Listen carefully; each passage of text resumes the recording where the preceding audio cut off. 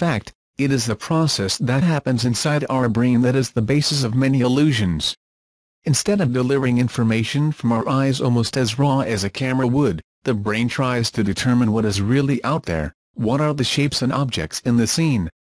When the information that enters the eye is ambiguous, the brain must make educated guesses. The three screens below demonstrate this in quite delicious ways. The illusion works because the change in skin tone affects the contrast of the face the difference between the darker parts of the face lips and eyes and the lighter parts of the skin.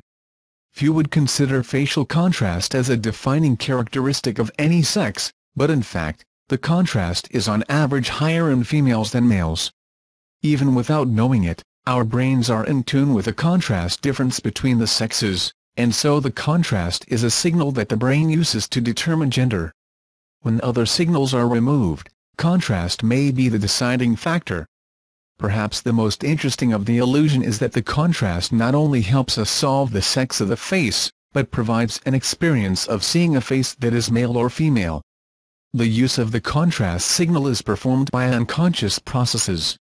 The image in our mind's eye has incorporated the information we already have, and uses this to resolve the ambiguity in the image.